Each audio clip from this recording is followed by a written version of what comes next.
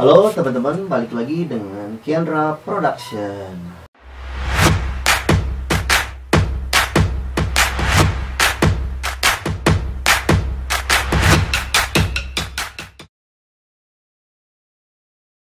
Kali ini kita ada unboxing ya, sebuah kamera tentunya dan ini kamera dari Fujifilm.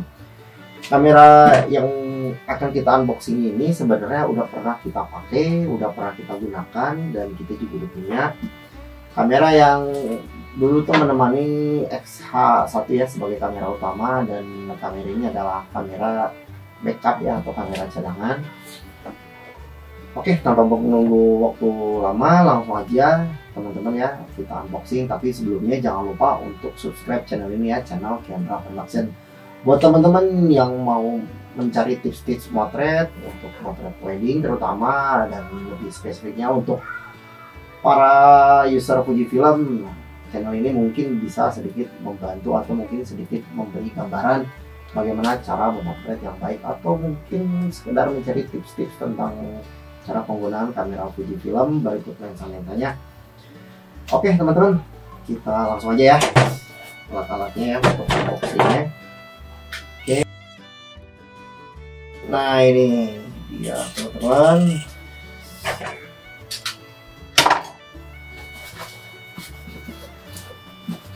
nah boxnya kita simpan aja karena kita tidak memerlukan jadi kita ini membelinya secara bekas dan tidak ada boxnya. Katanya sih boxnya hilang. Dan ini kita dihadiahi sebuah tas ya. Lumayan ya oke okay lah. Fungsional lah tasnya.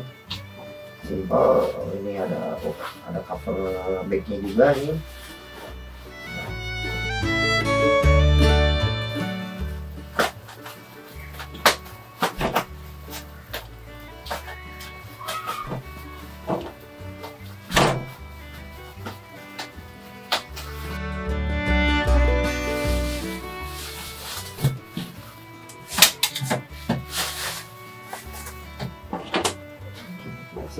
aja ini strapnya.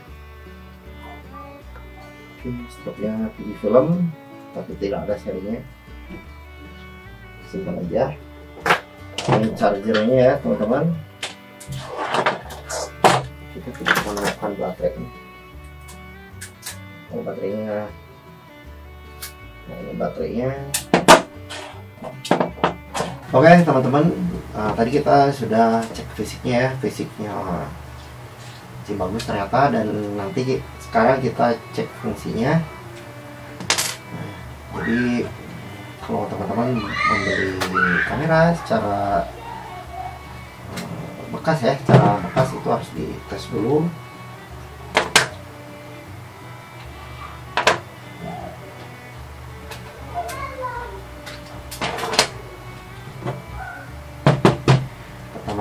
pertama kita tes dulu nih kalau dipakai roket bisa atau enggak? Ini. Kita coba dulu. Lupa nih belum dimasukin. Memorinya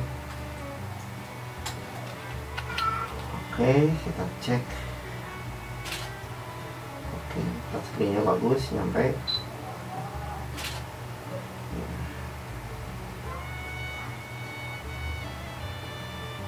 ini auto focusnya juga cepat ya. Kita tes dulu oh, menggunakan flash apakah kok ini berjalan atau enggak? Oke. Ini fungsinya jalan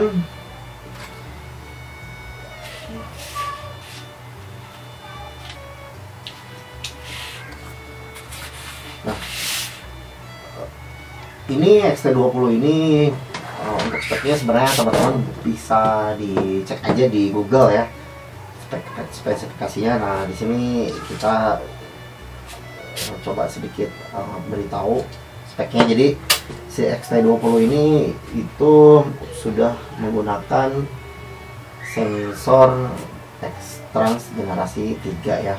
Ini dia uh, sensor ini pendukung APC CMOS X Trans 3 sensor 24 megapiksel ya. Jadi terus dia sudah bisa video berbeda dengan kamera XE2 yang sebelumnya sering kita pakai itu dia untuk videonya kalau XE2 kan apa nggak ada live view videonya ya. Jadi uh, kalau misalnya mau mengatur ISO itu kan harus di dalam menu ya jadi agak ribet.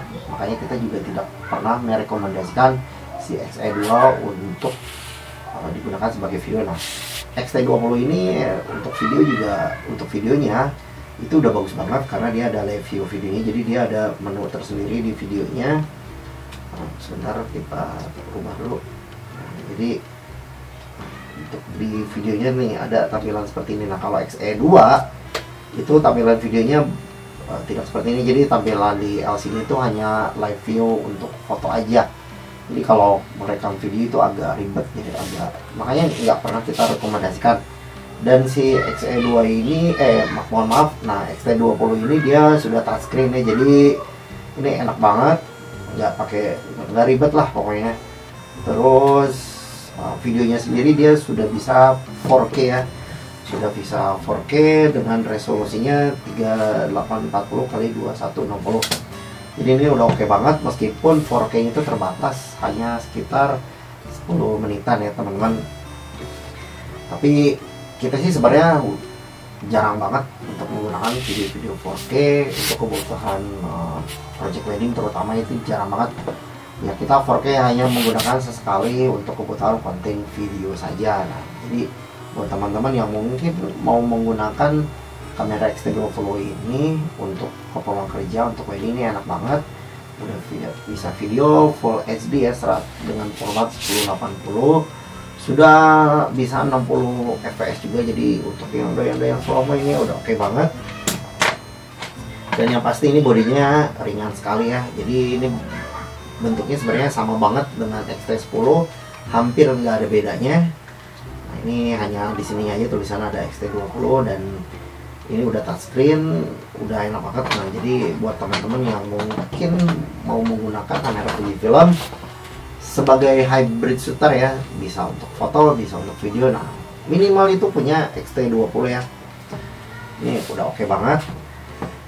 Nah alasannya kenapa kita pakai lagi XT20 itu adalah uh, kita ingin sedikit upgrade dari XE2 yang mana autofocus dari X-T20 ini jauh lebih baik dari XE2 ya. Jadi lebih cepat juga lebih akurat dan penggunaan ISO nya juga itu lebih bagus dari XE2 nah kita kan kalau pakai XE2 itu paling-paling mentok itu menggunakan ISO 2500 itu masih aman. Nah dari XT20 ini kita pernah di atas 2500 meskipun itu hanya dalam keadaan darurat tapi masih bagus banget.